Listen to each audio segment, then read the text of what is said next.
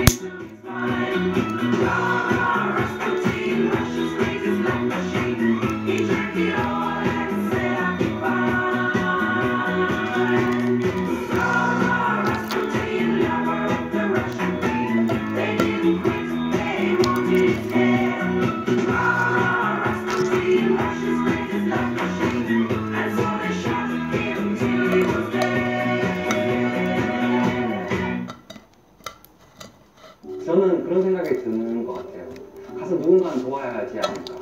저는 의사고 환자를 볼 수 있는 지식과 기술을 가지고 있고 그 현장을 보고 있으면 아 내가 가서 도와주고 싶다.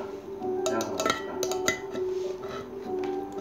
안녕하세요. 저는 올해 2월에서 8월까지 6개월 동안 남수단 부편의사의 아곡병원에서 소아과 의사로 활동하고 온 최용준이라고 합니다. 남수단은 수단으로부터 독립된 지 10년 된 신생국가인데 영토 분쟁이 아직 끝나지 않은 아비에이라는 곳의 아곡이라는 마을에서 환자들 진료와 현지 의료진 교육에 참여하고. 이런 지역에서는 죽음이라는 게 굉장히 가까운 존재라서 만약에 안 좋아지게 되면 이 사태를 어떻게 집까지 운반하지? 이런 비용에 대한 걱정을 먼저 하게 됩니다. 어, 그런 걱정 때문에 보호자가 저에게 살아있을 때 집에 가면 돈 상태가 안 좋아지면 돌아가서 죽는 게 아니라 돌아가는 길에 죽겠다라는 생각을 할 수밖에 없죠. 그래도 치료를 위해서 가면 안 된다라고 붙잡을 수가 없죠. 왜냐하면 그들은 또 그들만의 문화가 있고 아무리 치료하는 의사지만 그 조건들에 대해서도 존중을 해야 된다고 생각을 했습니다. 근데 근데 결론은 못 내겠어요. 어려운 문제인 것 같습니다. 어쨌든 붙잡아 줄 수는 없어서 보내줄 수밖에 없었어요.